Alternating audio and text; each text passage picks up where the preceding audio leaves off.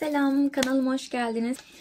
Bu videoda yeni başlayanlar için makyaj malzemesi önerisi yapacağım. Ee, çok makyaj biliyor muyum? Hayır normal kendi günlük hayatımda makyaj yapıyorum ama e, hem böyle uygun fiyatlı hem de güzel olduğunu düşündüğüm makyaj malzemeleri önereceğim. Ee, ve ufak ufak da yorumlayacağım. Zaten çoğu bilindik şeyler ama birkaç tane kendi keşfettiğimi düşündüğüm ürünler de var. Onları da göstereceğim. Başlayalım. Şimdi büyük bir parçayla başlıyoruz. Böyle bir far paleti. Ben bunu düğünümde kullanayım diye böyle nude tonlarda bir şey istediğim için almıştım ve kullandım da gerçekten. İçinde hem böyle koyu renkler var hem de böyle açık renkler var. Hem de böyle parlak renklerin tonları falan var. Yani istediğiniz gibi nude tonlarda bir makyaj yapmak için böyle fix bir palet bence. Zaten markayı biliyorsunuz. Ee, pigmenti falan da gayet iyi. Altına e, ben şey kullanmıştım. Far bazı kullanmıştım ve onunla gayet iyiydi yani.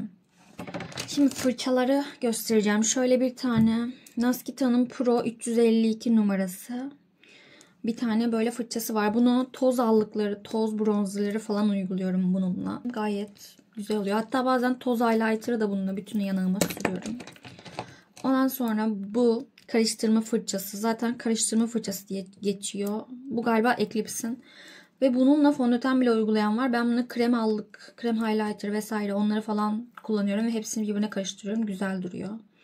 Böyle bir fırça. Zaten gratis'te var. Ondan sonra şöyle bir kapatıcı fırçası. Toplam 3 tane kapatıcı fırçam var. Bir tek yani bir tek demeyeyim en çok bunu beğeniyorum. Fiyatı da uygun zaten Eclipse'in. İlk olarak bir tane benim en çok kullandığım şu an dudağımda da o var.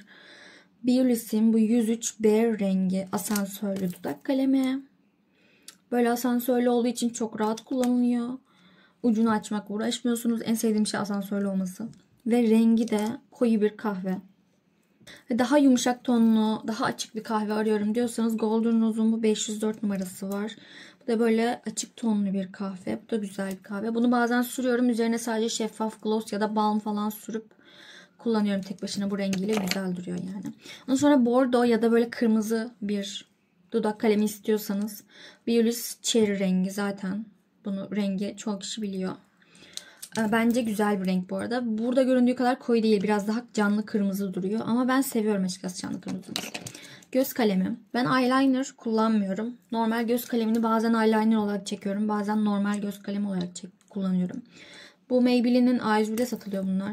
Maybelline'in bu normal asansörlü dudak. Ne dudak ben? Kajal eyeliner'ı. Kajal göz kalemi her neyse. Kalıcılığı çok çok iyi değil. Çok iyi kalıcılığı olsun diyorsanız bu ee, o kadar iyi değil ama ben hafif akmasını falan seviyorum doğal hafiften dağılmasını o yüzden bu benim hoşuma gidiyor ve e, bayağı da yani kalıcı ama böyle inanılmaz zamk gibi yapışanlardan değil ama yani güzel. Bronzer. Bir tane toz bronzerım olsun. Böyle bir toz bronzer. Ben de koyu rengini bulamadığım için ben açık rengini aldım. Bu bile oldu yani. Ben de zaten buğday tenliyim. Bana olduysa bence esmerleri de olur gibime geliyor. Tabii çok çok böyle bronzlaşmış değilseniz. Kokusu çikolatalı. Şöyle bir tane fırçası var ama fırçasıyla güzel uygulanmıyor bence. Ben fırçasını ee, çok kullanışlı bulmadım. Bronzer ne rengiymiş? 01 Waikiki rengiymiş. Onun dışında bir tane krem bronzer. Ee, bir tane daha benim sevdiğim bu krem bronzer var Biolis'in ama o galiba satıştan kalktı. Koleksiyon ürünüydü. O yüzden onu öneremiyorum. Yani önersem de bulamayabilir. Büyük ihtimal bulamazsınız o yüzden. Bunu önereceğim. Bu hala, bu hala satışta. Bunun rengi bayağı koyu. Kontür olarak da bence kullanılabilir bir ton. Çok sıcak değil. Çok da soğuk değil. Ben bronzer sevdiğim için hep buralara kullanıyorum ve e, pigmenti yoğun güzel bir şey ve çok da zor dağılmıyor. Yani inanılmaz yumuşacık da değil ama zor da dağılmıyor. Bence gayet kullanışlı. Kaş. Kaş jeli. Bir tane kaş jelim olsun. Yıllarca dayansın. Zam gibi yapıştırsın diyorsanız bu. Ya ben bunu alalı bir sene, bir buçuk sene oluyor. Vişne gibi kokuyor bu arada. Ve çok güzel yapıştırıyor. Ve çok kalıcı. Ve bitmiyor. Bitmiyor. Bitmiyor. Daha ne yapsın yani? Bu bir adet kaş jeli daha size ne yapsın? Pudra. Biolis'in bu pembe pudrası zaten biliyorsunuz. Zaten herkes biliyor. Bir tane daha pudra denemeyi planlıyorum. Onu aldığım zaman yorumumu TikTok'a koyarım. Eğer merak ediyorsanız ona da bakabilirsiniz. Bununla da karşılaştırırım. Ama şimdiye kadar e, bunun dışında bir tane pudra aldım. Onu da hiç beğenmedim. Yine buna döndüm. O yüzden şu anlık benim için alınabilecek uygun fiyatlı en mantıklı pudra bu. Highlighter olarak bir tane toz highlighter istiyorum diyorsanız şu. Bunun altın tonlu olanı da var. Daha sıcak renkli. Onu da alabilirsiniz eğer sıcak renkli seviyorsanız. Ben soğuk olanı aldım. Pigmenti gayet güzel zaten bilinen bir şey. Sadece paketlemesi yani maalesef dayanıklı değil ama kötü mü? Hayır güzel. Şimdi krem highlighter'dan bahsedeceğim. Şu zaten bilindik bir şey. Ben bunun Yanlış hatırlamıyorsam bu 13 numarasıydı. Bunun 11 numarası var ten rengi. O viral oldu ama ben onu bulamadım bunu aldım. Ve gratis'teki kız dedi ki işte bu da zaten ten rengi gibi duruyor. Pembe pembe durmuyor dedi. Ve gerçekten de durmuyor. Gayet güzel bir parlaklığı var ve ıslak duruyor.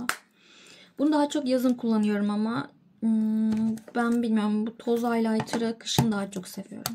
Ama çok güzel. Onun için bir tane daha highlighter bunu tek başına çok beğenmiyorum ama ben bunu şöyle ya da şöyle bir allıkla yine krem bir allıkla karıştırıp parlak bir allık elde ediyorum. Ve üzerine toz allıkla geçiyorum ama onu da göstereceğim birazdan. Şunu şunu özellikle karıştırıyorum. Bunların numaralarını merak ediyorsanız 10 numara bu da 30 Dusty Rose rengiymiş. Ya da bunları birbirine karıştırıyorum. Sonuç olarak bir allıkla highlighter karışıyor birbirine. Ee, bunun rengi de rosette rengi. Bunu da bir ara satıştan kalkmıştı. Hiç gelmiyordu ve sonunda bulup aldım bunu yedekledim bu arada şükür. Ondan sonra bir tane daha benim highlighter ya da far olarak kullandığım bir şöyle bir ürün var. Bu aslında bir eyeliner. Simli eyeliner. Ee, Fair rengi 588 numara. Ama göz kapağında falan çok güzel duruyor. Highlighter olarak çok simli. Eyeliner çek, çekemiyorum ben bununla. Ben zaten eyeliner çekemem. Ama bunun parlaklığı far olarak kullanıldığında çok güzel ve toz bir ürünün üzerine bile koysam alttaki toz ürünü kaldırmıyor sıvı olduğu halde ve sabitlendiği zaman asla yerinden oynamıyor. Bir parlak bir de mat bir allık diyosu ne denir buna onun dışında? Türkçesi ne olabilir? Allık paleti. Heh, herhalde. Dedim ki en kötü ihtimalle hani 50-60 liraya falan düşmüştü. Pastelim bu bu arada. Numarasını hot pink yazıyor. Numarası numara olarak yok. Hot pink yazıyor. Zaten bu, bu tonda bir tane var. Karıştıramazsınız yani diğerleriyle. Ben genelde ikisini hafiften karıştırıyorum ya da soğuk istersem soğuk demişim. Parlak istersem sadece bunu sürüyorum. Çok güzel parlatıyor diğer allıkların üstünden. Şu an makyajım gündüzden kaldığı için biraz azaldı. O yüzden az görünüyor olabilir ama normalde yaldır yaldır bütün allı allığım, bütün yanağım parlıyor. Bunu en son üstüne sürüyorum bir de yani çok da. Rimel. Bu zaten Liked'ın şu şekle sahip, şu kapağa sahip bir tane rimeli var. Bu siyah olanı bendeki. Üzerine yazıları silinmiş ama hala bozulmadı. Hala kurumadı o yüzden kullanıyorum. Bunun tek tek ayırma özelliği çok güzel.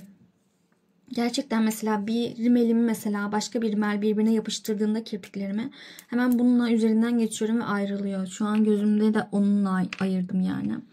Ve hacim versin, kıvırsın diyorsanız bu.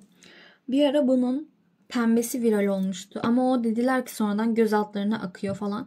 Ben dedim ki o göz altlarına akıyor ama waterproof olsa akmaz yani teknik olarak. Ben de gittim onun waterproof versiyonunu aldım. Bu açık mavi olan Crazy Volume Waterproof Maskara yazıyor. Böyle paketlemesi tam olarak. Fırçasını göstereyim. Belki bunu bilmeyen, bunu biliyor, bilen çoktur ama bunu bilmeyen olabilir. Bunu göstereyim. Onu da göstereceğim gerçi. Şöyle bir fırçası var ve ee, gayet güzel hacim veriyor ve yoğun gösteriyor kirpikleri. Ee, ve waterproof yani ağlıyorsun denize menize giriyorsun çıkmıyor. Üzerinden bununla geçiyorum. Eğer bu birbirine yapıştırırsa yeni alınında biraz ıslak olduğu için yapıştırabiliyor kıvamı oturana kadar. Bir de bunu ay açabilsem. Bunun da şeyini şeye benzetiyorlar şeyini şey. Maybelline'in bir tane rimeli var ya adını unuttum. Ona benzetiyorlar fırçasını. Yani onu bilmiyorum hiç kullanmadım ama bunu tek tek ayırma özelliği çok güzel. Ama sadece işte hazi- hacim vermiyor. Kirpikleriniz böyle seyrek görünebiliyor. O yüzden başka bir meli altına geçmek daha mantıklı. Bu ikili çok güzel oluyor bence. İki tane önereceğim uygun fiyatlı kapatıcı var. Bir tanesi şu. Bu zaten direkt şu an gözümdeki.